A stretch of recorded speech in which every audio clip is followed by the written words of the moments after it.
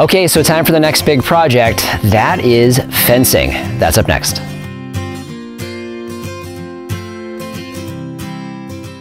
Hello everyone, this is Duane with Edge of Nowhere Farm and we're coming to you here today. It is Sunday, February 23rd, 2020. So we're coming to you today, we're actually starting the first in another series. That's the first in the next series in our lives and that is fencing. So our last series and what we just wrapped up was irrigation. We got the first round of irrigation in on the farm.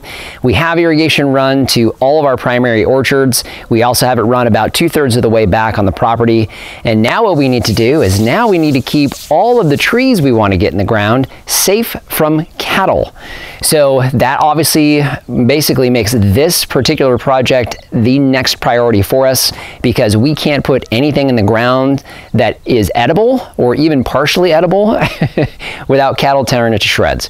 So what we want to cover today is we really just want to kind of show you our plan. We are going to be marking a few things out. We're going to talk a little bit about some of the things that we're going to do as far as fencing is concerned, and then we'll kind of go from there. So let's go ahead and take a look at the plan. So what you see here is you see our general plan. Now, this is the basically the, the mock slash drawing that Lori and I have been working off of for the better part of the last year and a half or so as we got prepared coming onto the property.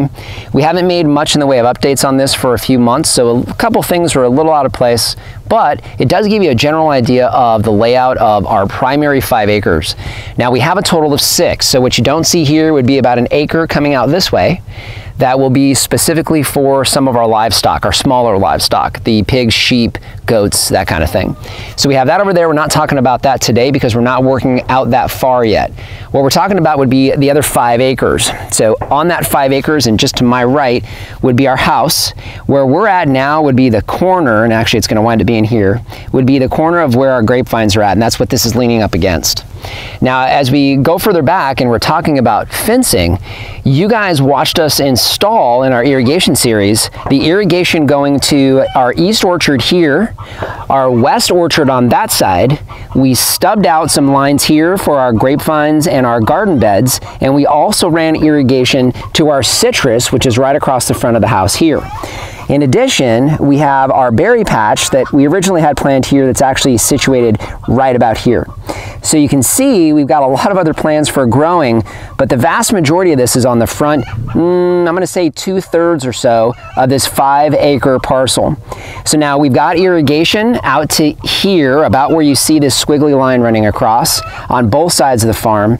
So we know that we're gonna keep the majority of our water needs in here, and again, our planting.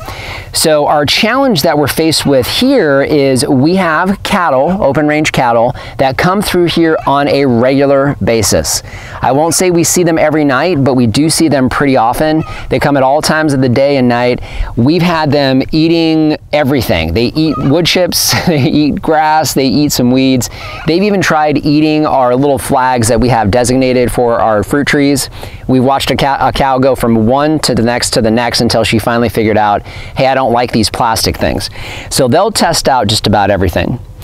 All that being said, the challenge we have is this is our growing area and we want to start planting now. We need to start planting in the spring. If we don't get to planting by May, we're going to have to put everything off until fall. So we need to have some fencing that is going to be secure, is going to keep cattle out of the growing areas and it needs to encompass a large area. So what we've decided to do, we've gotten some great input from you guys, but what we've decided to do is go with a couple different types of fencing first and primary type of fencing that we're going to be putting up is going to be barbed wire. Now we've gotten some great suggestions from you guys. I know several of you had suggest, suggested electrical. The problem with having electrical wire out here, we do have families that live across the street. We have kiddos that like to come out and kind of take a look at our chickens. And as we have more going on, we want to welcome them to come onto the property when they want to. Well, within reason, but uh, we don't want to do anything that would exclude the kiddos from coming out. So that really took electrical off the list for us. The last thing we want to do is zap a kiddo. Not interested in that at all. So the next thing, of course, would be barbed wire, and that's what we're going to use for the predominant areas to keep cattle out. So the vast majority of the areas as we're looking at the perimeter of the farm, we're going to be using five strands of barbed wire.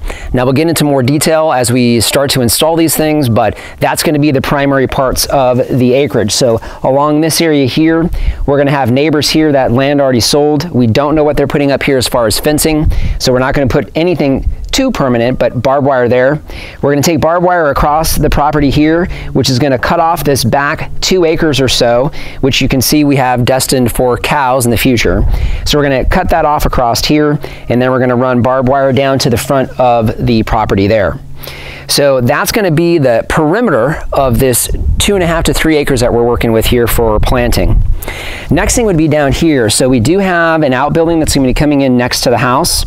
We'll be putting some fencing in there. Now that outbuilding will help us as far as fencing off cows because it is a, a pretty good fence, but we're gonna have to obviously fence around them. So same thing there, we're gonna either use barbed wire or we're gonna use some type of welded wire or field fencing. But because that's temporary, we're just gonna run barbed wire across the back of the house here. Last thing would be the front of the house. Now, Lori was made it very clear to me that she didn't want it looking junky at the front of the house. so what we've done is we've contracted with a fence company. They're waiting for their quote, but they're going to come out and do some nice farm-style fencing, that horizontal fencing uh, in the front of the house. We'll eventually extend that all the way to the perimeter on that side. Also use that between the barn and this area on here on this side. But for now, at least the front of the house will be that fencing. And then we're gonna use welded wire or field fencing uh, as it goes across to the other side, at least temporarily until we can afford to put the more expensive fencing in. So that's going to essentially get us fenced in and allow growth on the farm. So we've got our work cut out for us. Uh, yesterday we had planned on getting started. We wanted to get to Tractor Supply to get materials and supplies, and then we did pick up a few things, which I'm going to show you here in a second. But all of our major posts and that type of thing we could not get. So our plan is to do that next weekend and go ahead and get started with, with the entire project next weekend. But for today, what we're gonna do is we're gonna actually go through and get some measurements taken, start marking out where we're gonna have corner braces, H braces, and that kind of thing. So you guys are gonna come along with us.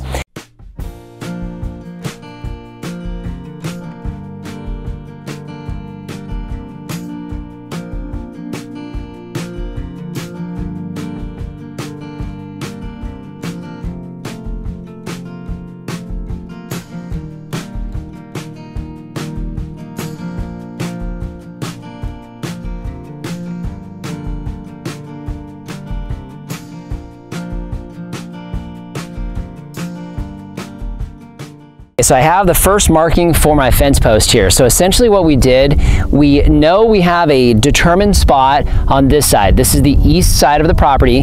What you see behind me would be our livestock acre. So we do know we're gonna have a gate right here. And I, that's actually where we're gonna have the cutoff for the front part of the farm because the orchard is just behind Lori.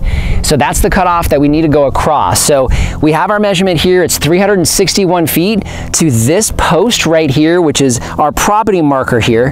So we're at 361 feet here. So now what we need to do is head to the other side of the farm, mark off 361 feet from the front, and then come across the farm this way so we know exactly what square we're dealing with, and we can mark the rest of our fence posts. So we got a little more walking to do.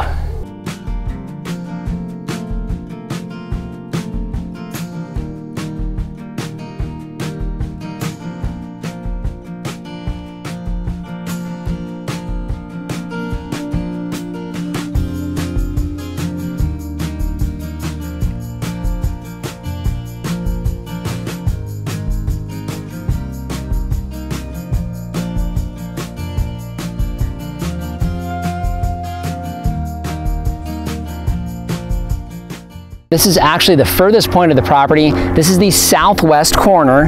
So this is actually the longest line on our property line. Well, I guess the back of the L is pretty close too, but either way, we know this is about 630 or so feet, I believe.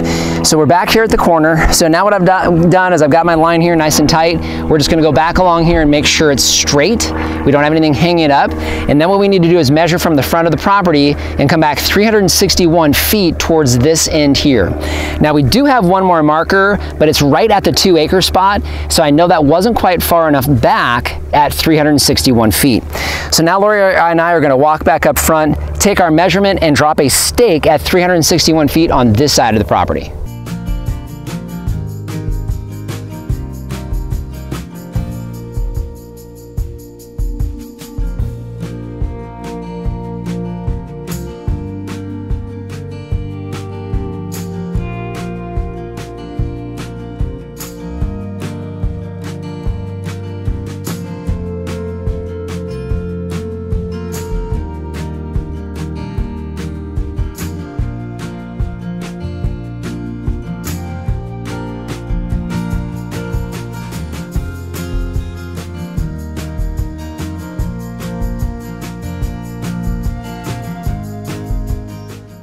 Okay, so here we are. You guys have actually seen this corner. So this is where we ended our irrigation lines when we put our irrigation in a couple weeks ago.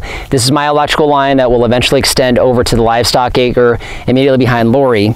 And what we have is we have a 12 foot fence, so two six foot gates essentially that are gonna open up into this back area here where we're gonna have our cattle and other larger livestock. So what I've marked off here would be the gate. So I've got my 12 foot gate going across. You can see my uh, water lines and my uh, electrical line is going to be able to go just underneath the gate here, so just on the inside of the gate, out to the back pasture, the back 40 here. And then I've got a four foot spacing for posts for my H-brace to head across the farm this way. And what you're looking at here is again, that cross section of the farm. So we've got our fr the front part of our five acres behind me, the back part of our five acres there in front of me. So now what we need to do is go back to that corner, measure off our H-braces there and our H-braces in the front. And then I think we're gonna be done measuring for today.